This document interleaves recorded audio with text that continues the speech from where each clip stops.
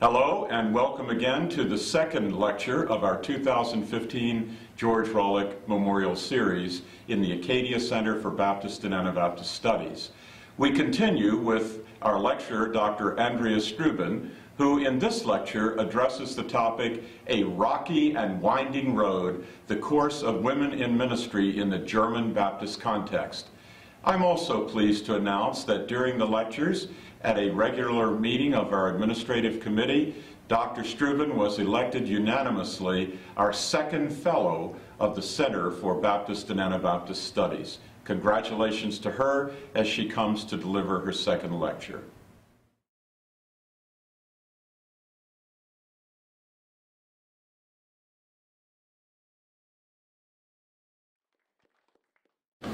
Thank you so much. Ladies and gentlemen, my esteemed colleagues, I would like to thank you from my heart for the generous invitation to talk with you today about a topic that was very special and um, that has a very special personal significance for me. At the same time, I have to confess that I'm not able to refer to a string of academic research projects with respect to this selected topic. Instead, I'm going to enter uncharted territory to some extent and present to you both part of a part of my own biography and modern history at the same time. I will start with, a, with my bio biography. My family is able to look back over five generations of membership in Baptist congregations. This is quite unusual for Germany. And all the more so because the first Baptist congregations has, um, were only established from the early mid-19th century and in comparison to the do two dominant churches, the Roman Catholic and the National Protestant Church, the Baptist Church has never moved beyond the status of a minority church. In ecumenical conversations, I need to recount from time to time that my great-grandmother even had to spend in jail, a time in jail, because her mother had become a Baptist and had refused to get her children baptized. Since my childhood, therefore, I have always been very aware of my unique confessional roots. Furthermore, my father was a minister in a large and well-known Baptist congregation in Hamburg until 1968, when he was called to take on work as a director in the Diakoniewerk Bethel in Berlin. Naturally, the entire family went with him to Berlin.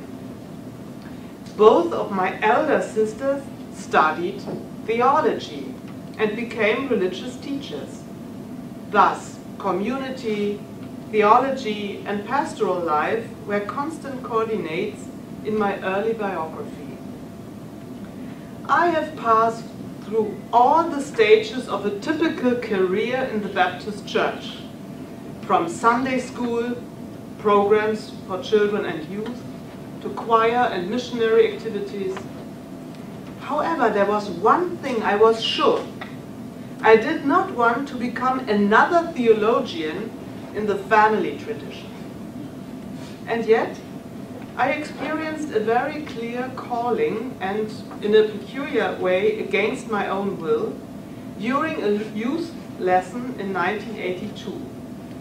Initially, this came as a shock to my parents, all the more so given that ordained female pastors did not yet exist at the time, at the time in our Baptist convention in Germany. However, women had been allowed to study theology since 1976 at church-owned seminaries and at universities, even though they were not to work as pastors in German Baptist churches. I began to study theology in spite of all the objections at the Kirchliche Hochschule Ecclesiastical University in Berlin, and to be on the safe side, I studied history at the same time. I studied with great enthusiasm. I discovered the wide scope of theological findings and in 1990 earned my doctorate. My specialty is church history, as you know.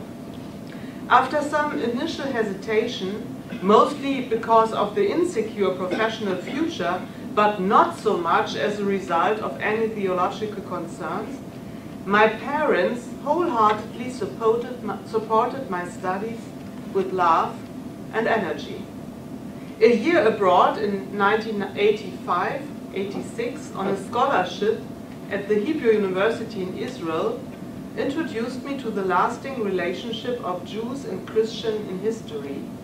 And to this very day, I seek to promote its dialogue.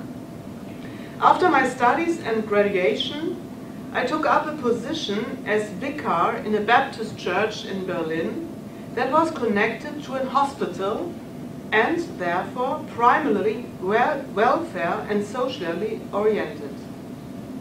During my university studies, I had had my first attempts at writing and preaching sermons.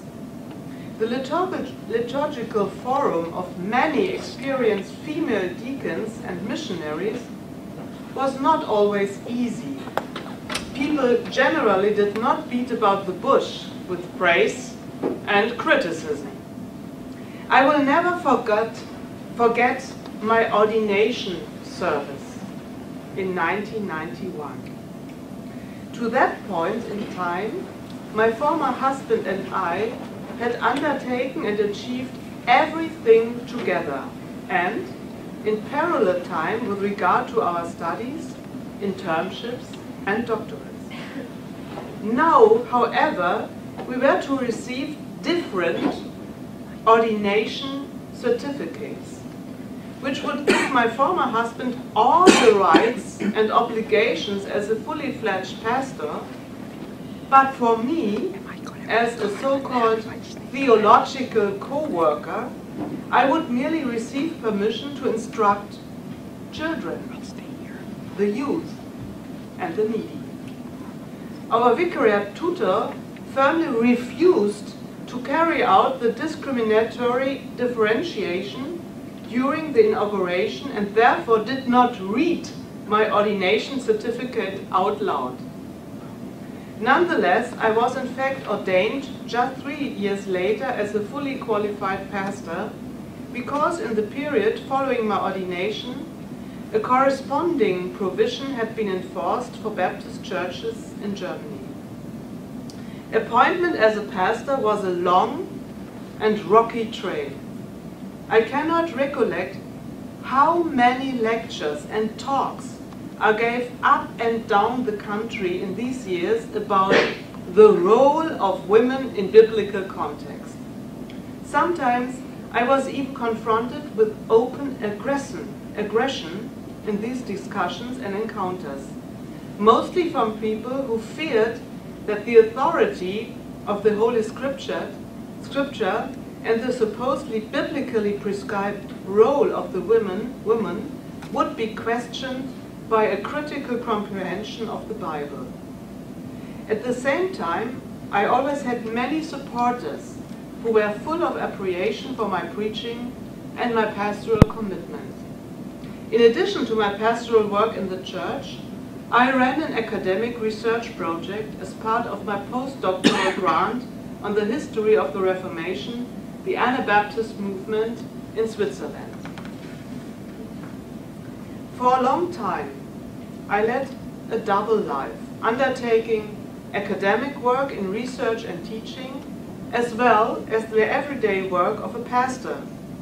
And yet both these very different lifestyles mutually complemented and enriched my life. In 1996, my former husband and I were appointed as a pastor couple in Munich. I was the first female pastor in Bavaria and was thus confronted once again with discussions over the issue of the pastoral service of women. For my father, former husband and me, it was always of great importance that we have had the same rights and duties in the field of pastoral work. And this is what we communicated very clearly from the beginning when accepting the call. They would only have us double-sized. This was a learning process for the congregation, which turned out to be very positive right from the very beginning. The only problems for me occurred at funerals. Because in the strongly Bavarian Catholic tradition, a woman as a priest, and above all without a robe, a cross bearer, and altar boys was exceptionally uncommon. In a senior citizen home, when we frequently held services, a female resident once said goodbye to me with a grateful handshake and a humble look on her face. And he said, and she said, "Goodbye, father." I did not correct the wrong gender title, but considered it a compliment. Since 2006, I have been a full professor for church history at Oldenburg University.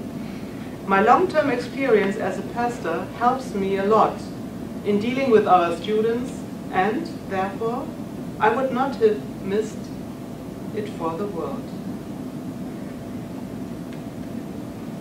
I would like um, to introduce you to the history of German Baptists and the role of um, women in this um, history. And at first, I just want to present you some insights about the early phase and the early stage of the uh, foundation era, you may, might say, of the German Baptist.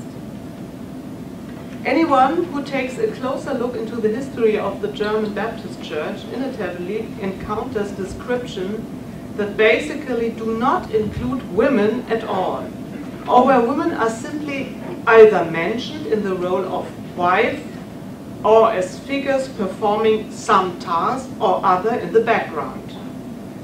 For my free church, which fundamentally see itself as a missionary activist community movement, reflection of its own history has always only been of secondary importance. With the exception of the Mennonites in Germany, who can lay lay claim to a long tradition of historical research into their heritage, the original awakening is characteristic for the Free Church self-perception in Germany, not so much the, the search for historical continuities. This applies to both the link to the universal history of Christian faith as well to its own history. Noticeably, the founders of the German Baptist tradition do not play a major role in the church teachings and practice, nor does the location of its own tradition in the context of the Reformation have a particular prominent profile. In my opinion, the German Baptist Church lacks a fundamental understanding of its origins and the interconnection with its Anglo-American early history, which very likely holds interesting and challenging powers. The lack of a memorial or commemorative culture correlates to the lack of historical awareness. There are almost no specific sites of Baptist commemoration or even those existing locations are rarely utilized for collective remembrance. Anniversaries frequently pass without any great notice or attention. However, despite this general forgetfulness with regard to history, there is a memory of the foundation period of the German Baptist congregation and in this respect it was primarily men who played the leading role. The leading role. The history of the German Baptist Church is inseparably connected with one name, Johann Gerhard Oncken, who on the basis on traditional depictions has entered the denominational memory of entire generations of Baptists as a tireless missionary, founding father, and, as Max Weber said, religious virtuoso. However, this image has, was expanded relatively quickly to form the so-called clover leaf or trio, which included two other founding fathers, characters, Julius Köbner and Gottfried Wilhelm Lehmann. Here they are. As a result of their differing religious socialization and theological stances, this founding generation contributed from early on to a core of internal differentiation within the Baptist Church. In a close interrelationship with the Anglo-Saxon revivalist movement, which believed that it had a responsibility for the evangelization of the continent, all the classic free churches began to emerge in Germany from the 1830s. On the one hand, these were sent to Germany as German representatives of various tract and Bible societies. Consequently, the founding fathers of the different free churches initially operated as non-denominational emissaries from the Anglo-Saxon revivalist movement, whereby they typically utilized the newest organization forms missionary methods and communication networks that were characteristic for the revivalist movements, the societies. On the other hand, a number of Germans who had previously immigrated to England or the USA and joined free churches there returned to their homeland as missionaries. One page is missing. That's not good. Oh, I found it. That's good news. Although the initial aim was first and foremost to offer the German revivalist organizational, spiritual and financial assistance, the reality of migrants to Germany and Germans returning home meant that free church ideas gradually prevailed over the early years. The commitment of German-speaking sister churches proved to be a further important prerequisite for the emergence of the free churches in Germany. From the mid-18th, migrants who had joined the already established free churches in the States financed German missions which quickly discarded their non-denominational orientation and transformed their mission into a strategic implanting of their prospective free church into Germany.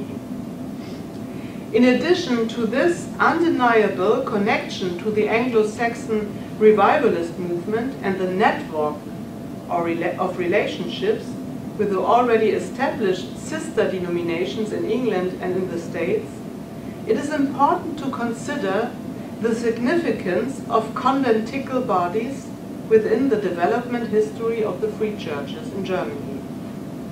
The formation of revivalist conventicles and the free socialization in independent church associations proved to be a spiritual breeding ground for the separation of regional church structures.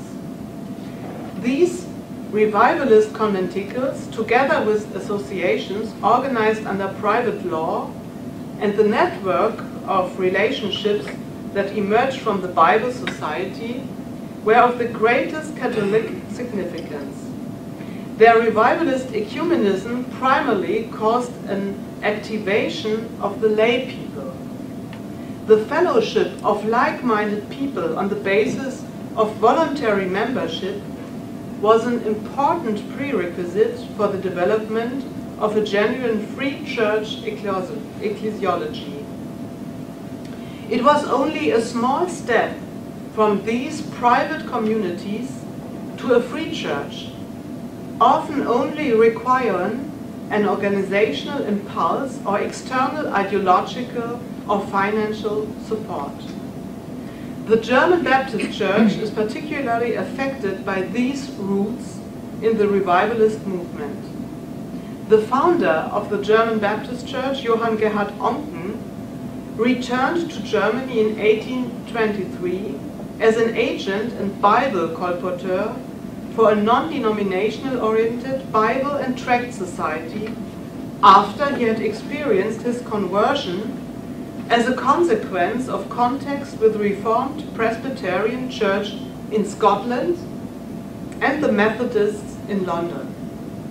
The foundation of the community and Oncken's subsequent ordination were implemented under the leadership of the Baptist professor of theology, Barnas Sears from Hamilton, New York, who was living in Germany at the time for the purpose of research. After the foundation of the First Baptist Congregation in 1834, Oncken came into conflict with the organization that had originally sent him out to Germany. This organization withdrew his financial support as a result of his breach of the conventicle legislation as well as the baptism of believers that both he and the first congregation members underwent, whereupon he raised his money henceforth from Bible societies in the United States. Oncken maintained contact with revivalist, revivalist circles and conventicles across Germany through the various societies and was re-owned as a successful evangelist and colporteur for the different Bible societies, as well as for facilitating the distribution of their publications to a wide circle of people. This network later became valuable for the process of expansion, particularly as many of these circles had had emerged independent of the Baptist mission, subsequently became the building blocks of Baptist congregation as a direct result of Oncken's commitment. Here you can see um, the first um, paper of membership or certificate of membership in the First Baptist congregation in Berlin. The involvement of women in the revivalist conventicles that later formed into Baptist congregation has not yet been a subject of research. I can, however, it can, however, be demonstrated that women were members of the earliest, earliest circles and were baptized into the Baptist congregations and communities. Furthermore, two women were part of the first Baptist congregation that was created through the baptism of seven members in Hamburg in 1834. Two of the seven first members were women. One of them was Sarah Oncken, Sarah Oncken. She was uh, born as Sarah Mann. And the other one was Henriette Lange, the wife of one of the other workmen baptized that very first day. Oncken and his colleague collaborated closely with various missionary, Bible, and tract society, which respectively provided donation and final contribution for their mission or missionary work in Germany. Both English and American missionary societies sent German staff members as their missionaries to the different regions of Germany. These were often workers who in part had also been educated in England. Alternately, their organization agreed to Oncken's selections of competent staff members that he recruited from the early congregations.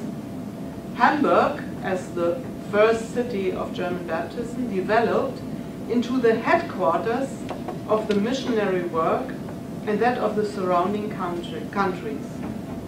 As early as 1836, Oncken reported that some 16 people, men as well as some women, were actively working alongside him as missionaries. These fellow workers reported on individual prayer meetings, missionary activities, christenings, and the foundation of new congregations. Without doubt, it was these international relationships that made it possible for there to be a strategic expansion and consolidation of the German Baptist Church. Up to now, this really has not been sufficiently acknowledged.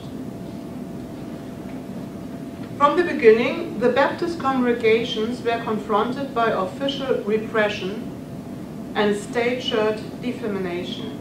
The era of persecution, including jail terms, forced christenings of children, seizures, and ban of assemblies created a large degree of awareness of identity and cohesion for the newly emerging congregations. It becomes apparent with any analysis of the records of this period that women frequently became the primary victims of the continuing discrimination. They consistently proved themselves steadfast, holding firm to the faith that they recognized and practiced, even though they had to endure seizures, detention, and expulsion as a result. One example. At just 19 years of age, the unmarried Caroline Henriette Bethmann gave birth to a daughter on the 2nd November 1849. The regional church pastor Heike from Lutter am Barenberge lodged a formal complaint in October 1852, some three years after the child's birth, with a relevant church authority regarding the mother's refusal to have the child christened, reporting, you can read here, she has converted to the Anabaptists and considers the christening of children to be a sin which is why she had had her child blessed by a preacher from her belief and named the child Caroline. Thus, the pastor requested further instruction as to how he should proceed and whether the mother, I quote, could be compelled by the police to have her child belatedly christened, quote, end. The result was a forced christening on the direction of the police. In 1856, the subsequently married young mother was forced to acquiesce to a further forced christening of her child. Time and again, entries can be found confirming how courageous women in this founding generation were forced to accept social discrimination.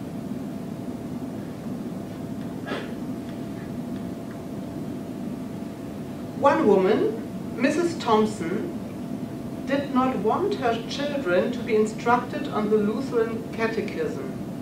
Four days jail. This same woman participated in Baptist worship services, six days jail and seizure of money to cover legal costs.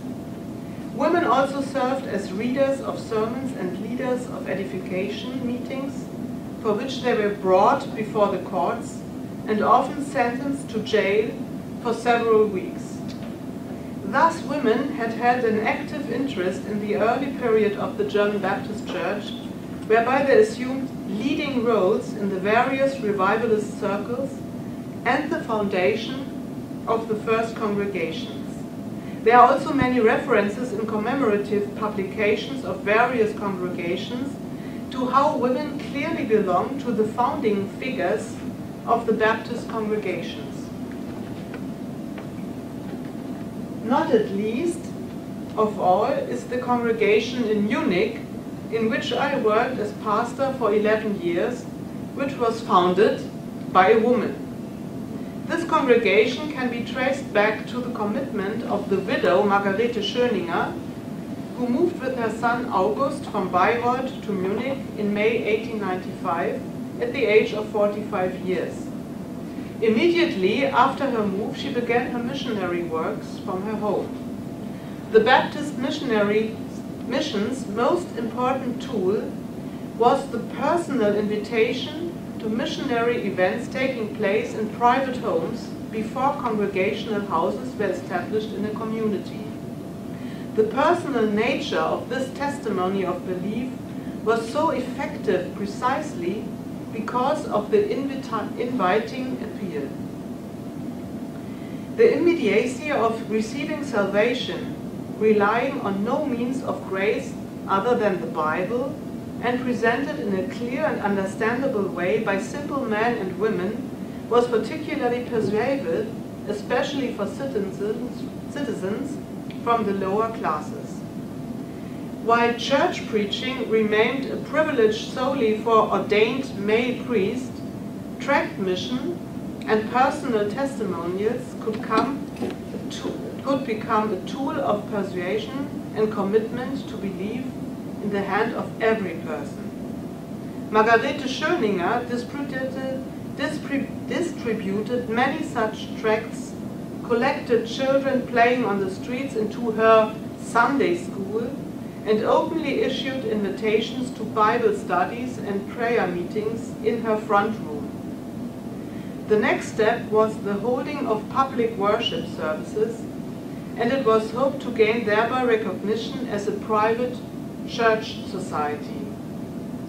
I sincerely believe that these beginnings should not be overlooked in the discussion of the long development towards the ordination of women and the introduction of the office of female pastors in the German Baptist Union. Unfortunately, these courageous women, with their vision and astounding degree of persistence, are only thought of a rare occasions. Like many religious movements and awakenings, an egalitarian spirit dominated in the infancy of the German Baptist Church, highlighting the charismatic equality of the children of God, of men and women likewise, in direct contrast to the social convention at the time. In this respect, women played a significant role in the emergent German Baptist Church. However, with the foundation of the Free Church, this transcendence of the traditional understanding of roles in the sense of a pre precedence of missionary goals gradually retreated.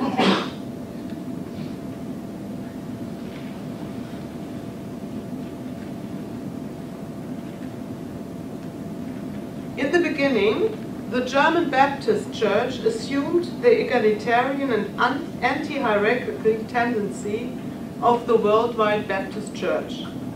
The congregational ecclesiology, which was based on the autonomy of the local congregation, led to the consistent rejection of church offices.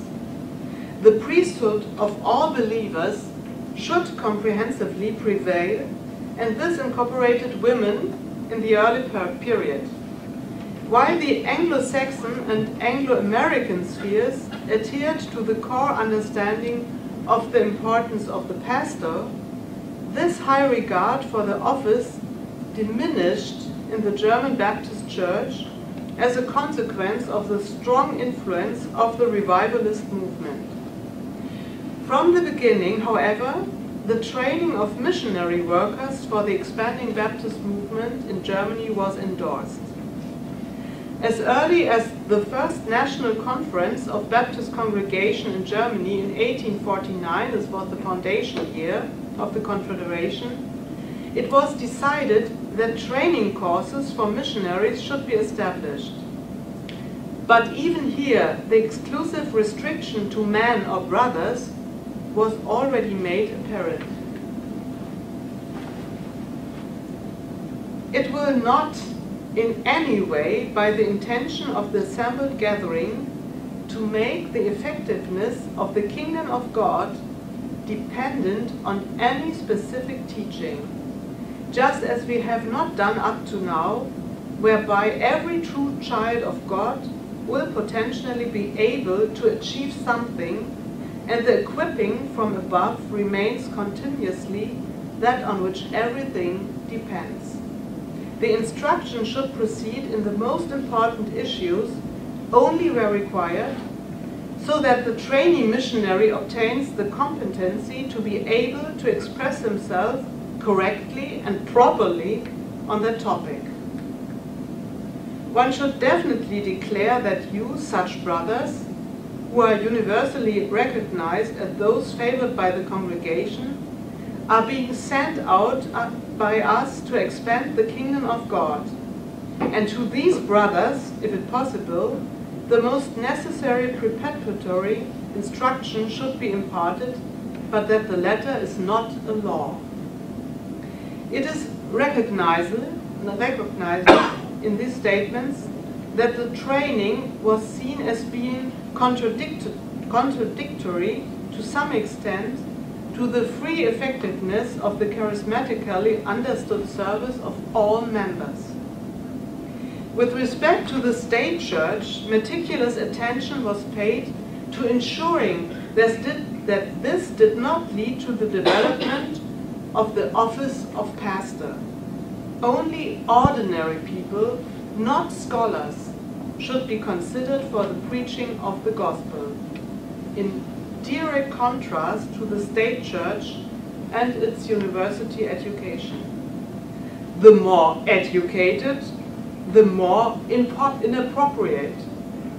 Nonetheless, it is interesting that this self-same conference requested that congregations select brothers and sisters who would commit themselves to the mission and should collect for it, including cash management. But the full-time missionary workers and those who were to be trained and educated were to be exclusively men. Under the intense influence of American Baptists with German origins, including, among others, August Rauschenbusch, the missionary causes ultimately led to the creation of a missionary school and then a school for the training of preachers founded in 1880. The ever greater qualification to study theology was entirely restricted to men. Unfortunately, this constraints me that I cannot explore the developments in the understanding of the office today, despite them being struggling truly uh, despite them being truly exciting. In 1921, plans were initiated for the establishment of a seminary for women, which nevertheless could effectively only be characterized as a Bible school. Until well into the 1960s, there was obviously no serious consideration as to whether women should be admitted to the study of theology or for the office of pastor. In the foundation era of the German free churches in the early mid-19th century, there were diverse realizations of charitable responsibility in the congregational context. Charitable and missionary activities were closely linked in the emerging free churches congregations and were practiced by members in various organizational forms. At the first national conference, Oncken even pointed out that the office of deaconess had not been yet had not been yet considered or recognized, which he perceived to be a serious deficiency. At the at the first at the turn of the century, the influence of mother house deaconry was increasingly being felt in the free church deaconry. The mother house deaconry described the diaconic, the dia, diaconal or social and welfare commitment of women, which is based on a community of belief, life and service like a holy order. In 1836, the first deaconess mother house was established by Theodor Fliedner and his wife Friederike in Kaiserswerth near Düsseldorf, followed by many similar establishments across all Germany. unmarried women learned a profession in nursing or education. At the same time, they lived together as deaconesses in the community of the mother house. The women developed a strong community of belief, life, and service. The training facility was based on the basic idea of the family, whose nucleus was formed by the house father, the director, and the house mother, to which also came the daughter sisters, the deaconesses, and further employees. The conservative, bourgeois image of the woman still remained in place, where a woman's actual occupation should be in the family as housewife and mother. Fliedner transferred the family structure to his deaconry initiative, the Mother House, thereby creating a new space for the social care occupations for unmarried women. Nevertheless, female deaconry is inseparably linked to religious motivating women's search for self-determination. Fliedner's real achievement was not so much the revival of the apostolic office of deaconess, but his facilitation, facilitation of the integration and appreciation of unmarried women within the church. As deaconesses, unmarried women were granted social acceptance and legal security, as well as new opportunities for education and the possibility of practicing a profession. In spite of its initial openness to the revival of the office of deaconess, the Federation of Baptist Congregation blocked the actual establishment of deaconess mother houses for many decades. A first attempt was made in 1885 by the married couple Bertha and Eduard Scheve to initiate a deaconess home based on a Martha's Association for the loving and rescue work for the poor, sick, and needy. In 1887, the first Baptist deaconess home named Bethel was created from this social welfare, welfare work. One co-founder was a former Kaiserswerth deaconess. Subsequently, within the Federation of Baptist Congregation, the social and welfare work organization Tabea and Siloa known as the Albertinen House since 1941, was created, which still exists today. In all three churches, the development of the Mother House deaconry took place along a similar pattern. Here you can see the Mother House of the first um, um, house in Bethel, Berlin. Generally, a small circle of sisters, on occasions the foundation of an institute even took place on the basis of just one sister, was offered nursing training in a state-owned hospital. Subsequently, they would put this training into practice in domestic nursing for the poor and private citizens. In the difficulty starting period, where each establishment was confronted with financial, location and staffing challenges, all mother houses entirely devoted themselves to nursing in the domestic sector and the employment of sisters in city hospitals as well as private clinics. In various locations, the rapidly increasing numbers of sisters led to some city hospitals being entirely staffed by deaconesses as well as the complete takeover of head nurse roles, quickly creating the desire for the creation of dedicated facilities for their field of work. Around the turn of the century, some deaconess houses actually succeeded in building their own hospitals with schools of nursing, most likely conditional to the church-wide responsibility for the facilities while other organizations were able to take control of self-governing hospital work in the late 1920s and the period of the Nazi dictatorship. This is not the place for tracing the different histories of the individual deaconess houses and their mother superiors or sisterhoods. It is, however, indisputable that the office of deaconess, with its outstanding training and widely varying areas of application in social welfare, nursing, and in service to the community, exerted a decisive influence on the role of women in the Baptist, German Baptist congregation. Even the general sister played an important role in congregations and frequently assumed leadership responsibilities. In this respect, I would like to share with you the example of the founder of the Deaconess House, Siloa, Albertine Assor. As a successful businesswoman in the fashion industry, she soon became involved in the area of social responsibility in the context of various Baptist congregations. She worked as a so-called Gemeindeschwester, community nurse in the congregation, as a city missionary and welfare worker in Stade near Hamburg. In 1902, she followed her vocation as Mother Superior in the Tabea Deaconess House that had no long been established in Hamburg-Altona, where a prior series of conflicts had resulted in there being only three remaining sisters.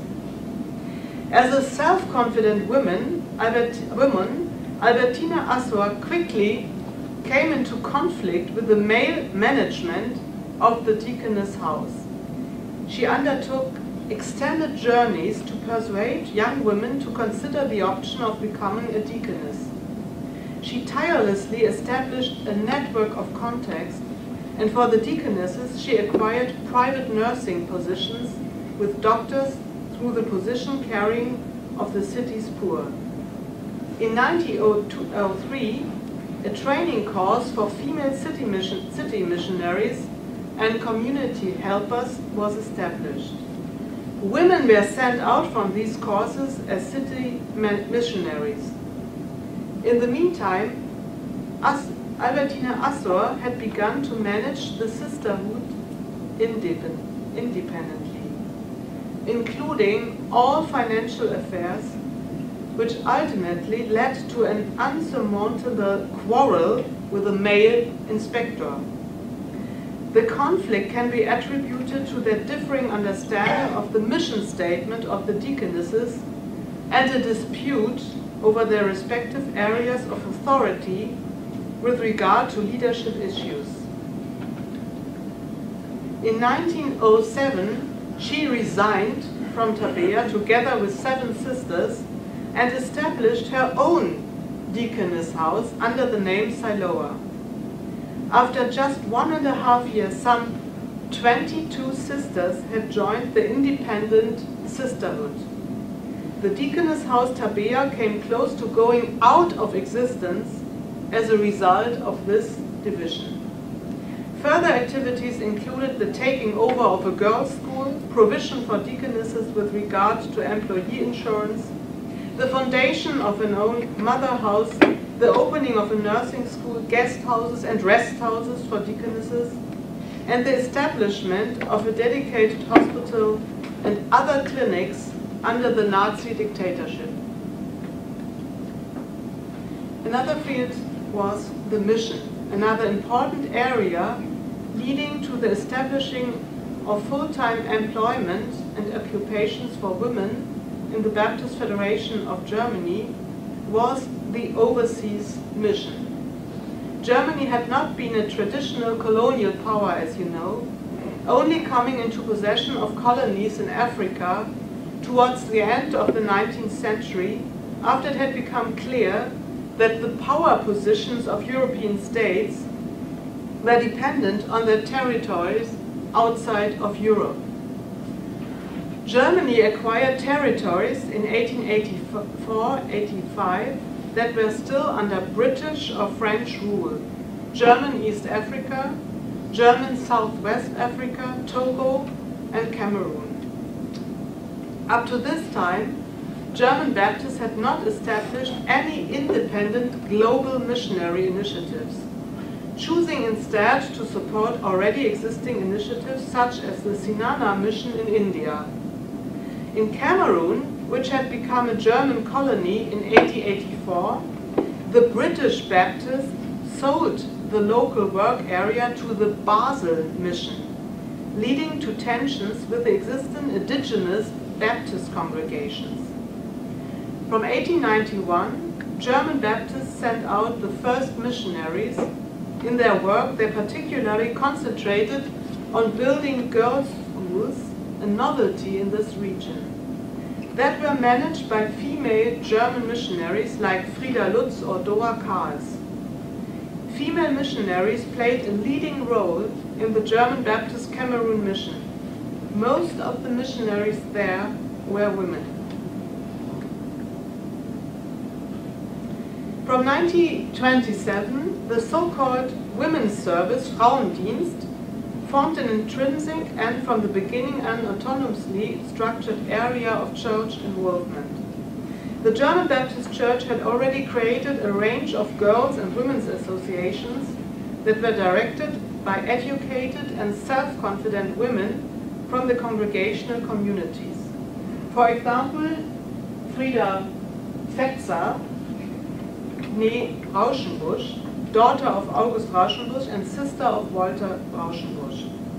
They had separate structures of their disposal, publication, media, co-workers, and they were also in full-time and inter-congregational service.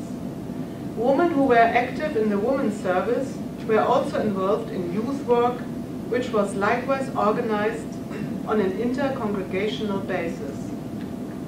I come to an interim conclusion. Because of their deaconry, mission, and congregational women's and youth work, women in positions of responsibility were well regarded and respected by the congregational community. The full-time service of women had established itself within a specific framework to which a range of assertive, assertive and capable women had contributed.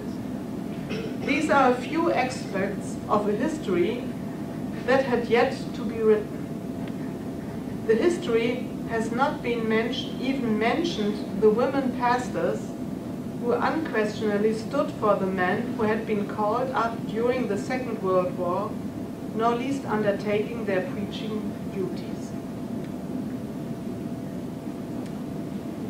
The study of theology and the office of pastor nevertheless remained out of reach for Baptist women until the early 1970s. Even though there had been discussions in the 1920s regarding the establishment of a dedicated women's seminary and the education and further training of women and men at a youth seminary had been facilitated since the 1960s, women were still excluded from the study of theology and service as a pastor.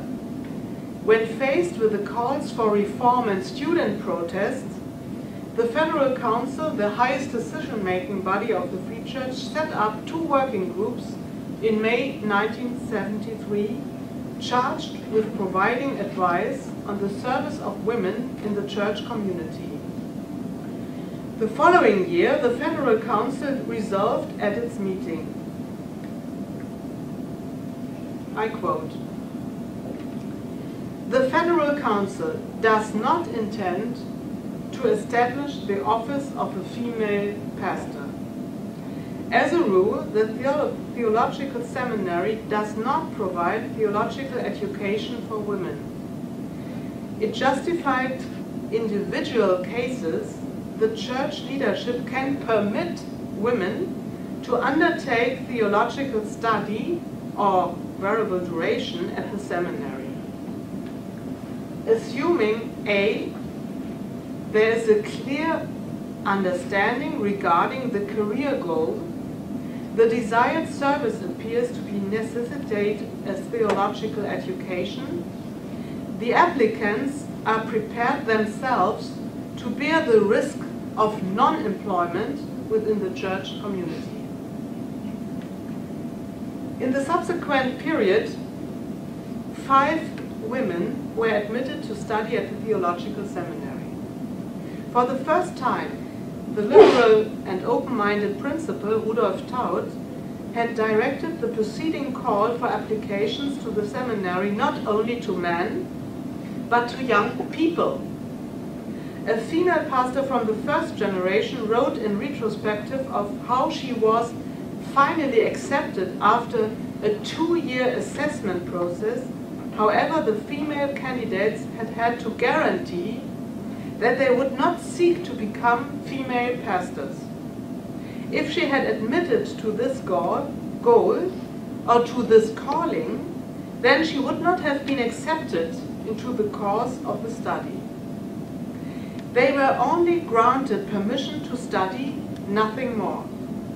Career prospects were still limited to the congregational areas of children's and youth work, missionary work, or adult education. There were no clear career goals for these first women at the Baptist Seminary.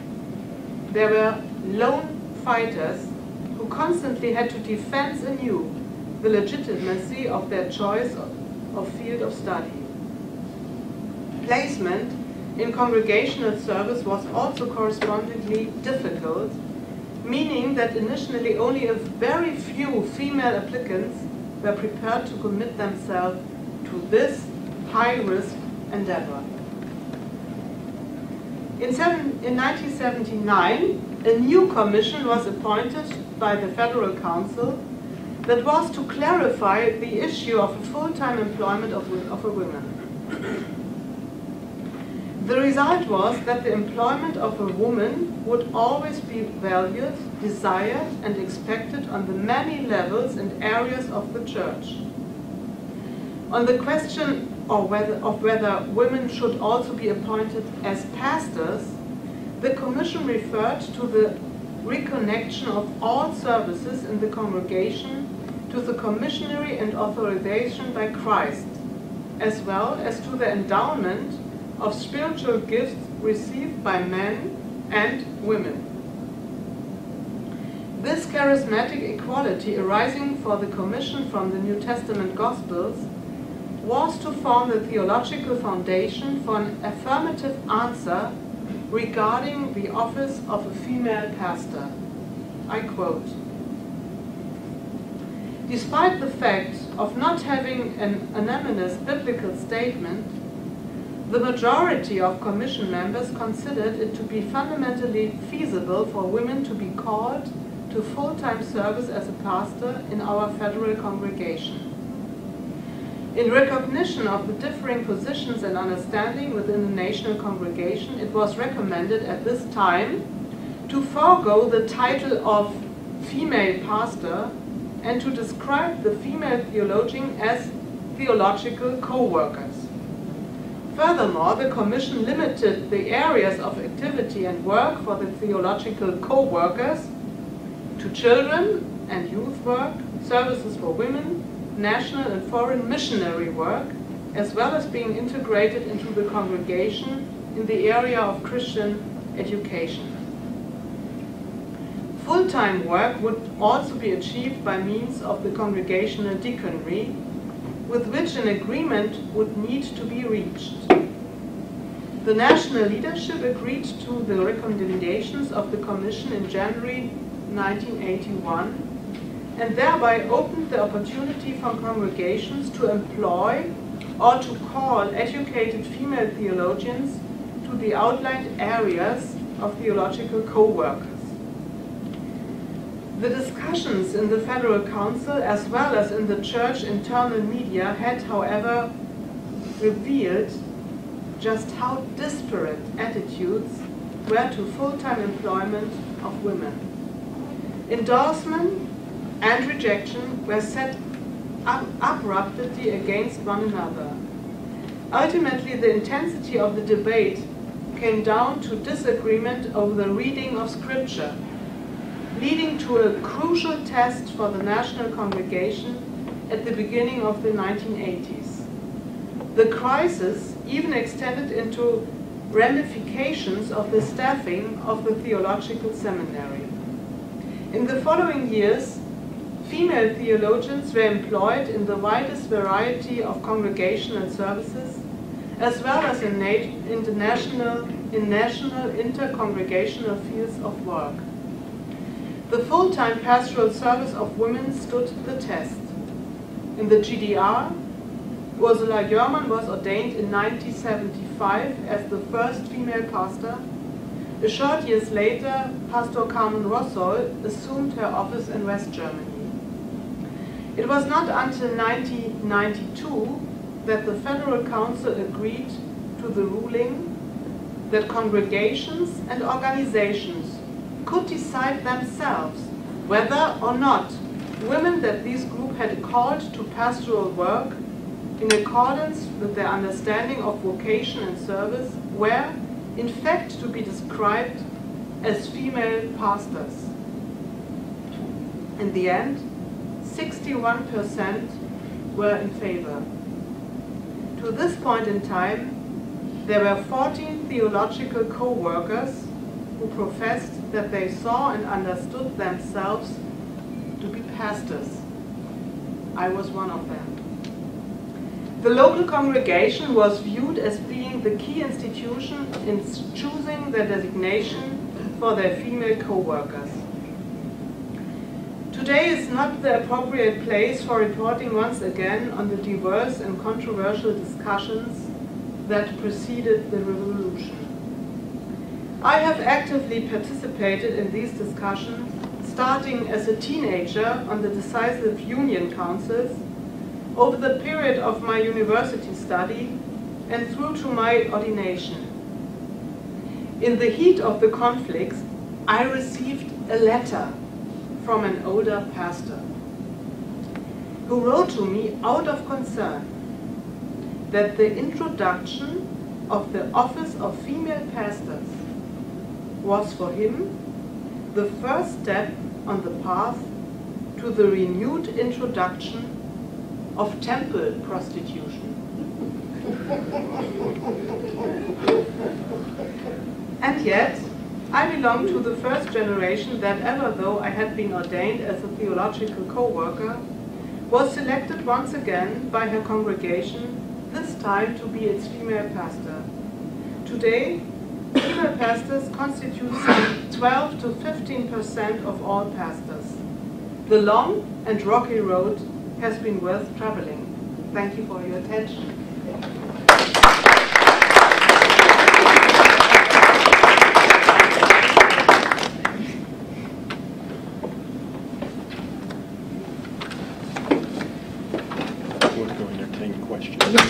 Any questions? Lots of questions, I hope? Yes. Yes, please. Um, so how is it today for a woman in the ordained? Mm, I think nowadays the female pastorate is established in the uh, German Federation. And I, as I said, in the end, 12 to 15 percent of all pastors are female pastors. But, but, there's um, still a kind of of problematic situation of female pastors at the, the theological seminary because many congregations don't want a female pastor as, as uh, the only pastor in the congregation. They accept them in a tandem or in when there is another senior pastor or as a female pastor for the youth. But to be the only pastor in one uh, congregation is quite um, problematic until today, I think. Yeah. Uh, do I understood well? You're meaning the first generation of. Uh, yes, I. Of, yeah. How did your father uh, saw this endeavor? Your father was a pastor as well. Yes, yes, of course. He uh, really encouraged me. At first, he was shocked, really shocked, because he thought I could become a lawyer or a medicine or everything else, but not a pastor because it wasn't possible at the time.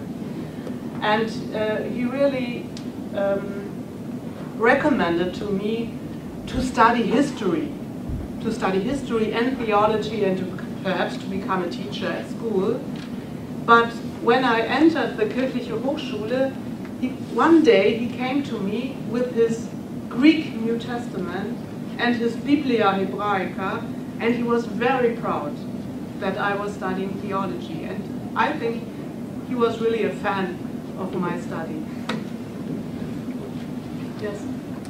Have you noticed or observed any move to uh, increase conservatism among the German Baptists because of the reunification of East and West Germany?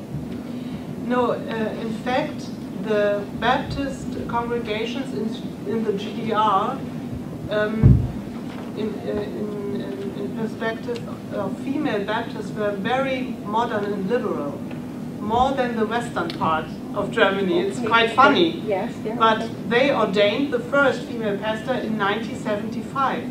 Okay. Um. I'm not quite sure why they are so open-minded um, concerning the female pastors.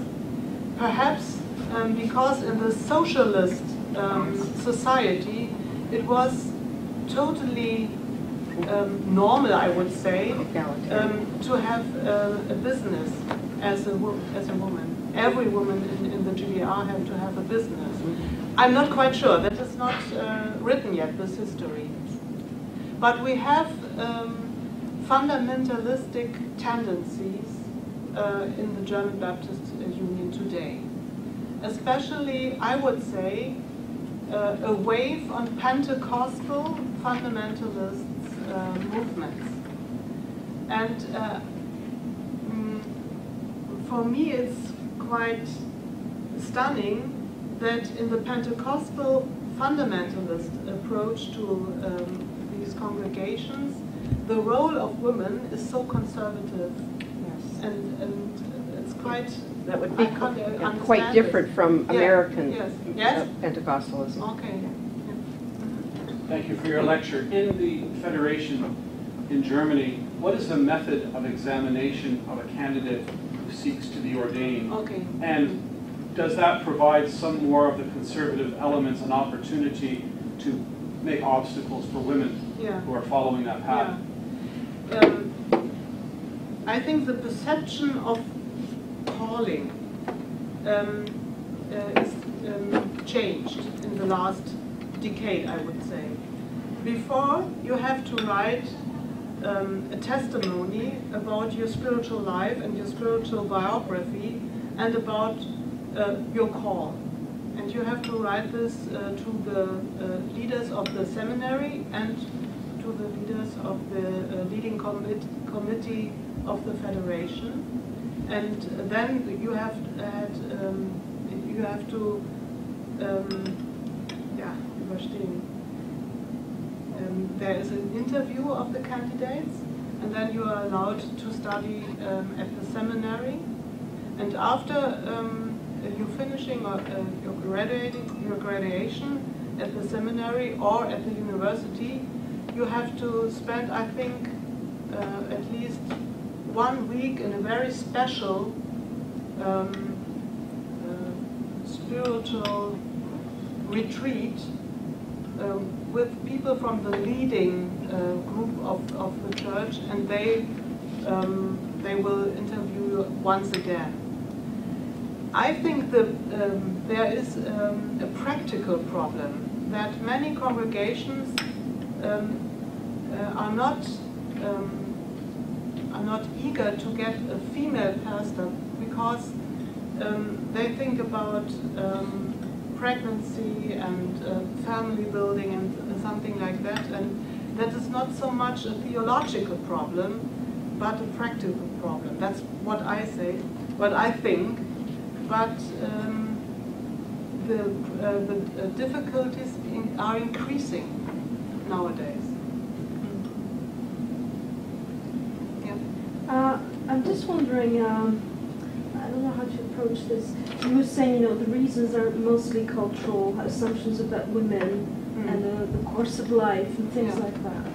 Uh, Just wondering also, if it has something to do with the approach uh, to the language, to, to, to the scriptures.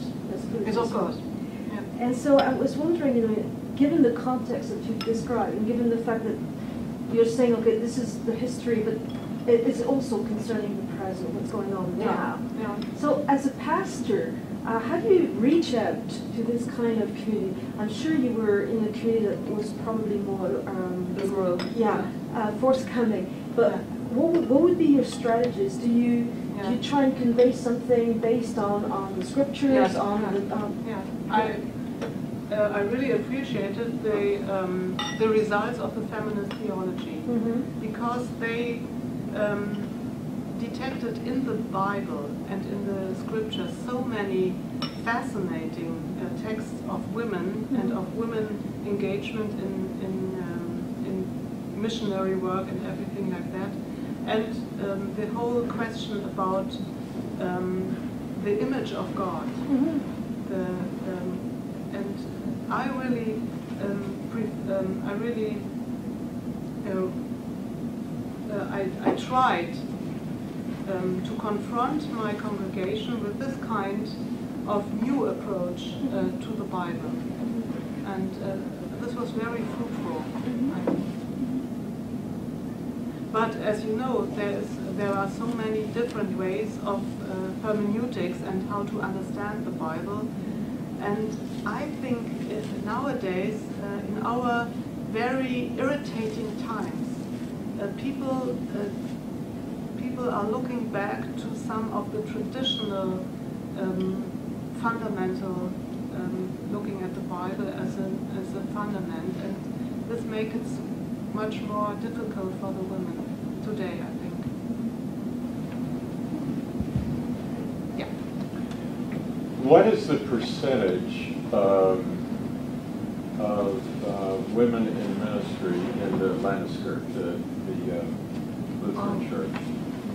Um, I think they are almost 40, 50 percent, I would say. So is there any um, example for the nonconformist groups like Baptists from that? Is there any cross? None at all? I don't think so. When you, um, when you see the, uh, the, the students of theology, I think nowadays up to 60, 70, 80 percent are female, the, the, the students of theology, to become pastors afterwards. And a very famous uh, theologian in Munich, um, he said, um, his name is Graf, he said there is a femin, I don't know, Feminization. feminization of the church, because so many women uh, uh, are, are trying to become pastors. So does that have a negative effect? Yes, I think. And there's no solidarity? No, no, not at all. Not at all. Especially when you are single. As, as, as a single woman, you have uh, uh, um, um, very big uh, difficulties. Yes, please. Your, the answer to the original question, when you said that only uh, 12 to 15 percent, Yeah. um, and then later you uh, have said that um, pregnancy and and that sort of issue is a concern. So are you saying that preaching and pastoral care and those types of activities are not a concern to congregations in hiring of female? They are, they are. But um, I think there has, uh, there was a special development during the last decades because um, in our congregations, the role of the pastor stood um, more and more in the center of the congregational life. And as I think the role of the pastor is so central now uh, in the congregations that the charismatic egalitarian thinking and our ecclesiology is sometimes a little bit forgotten about the, uh, in, in, this, uh, in this approach. What is the significance of the picture? That's me. And this is a Lutheran pastor, and I was invited um, to preach in um, the Lamberti Kirche, a Lutheran church in the center of our uh, city as a university professor and as a university um, preaching a sermon, a university.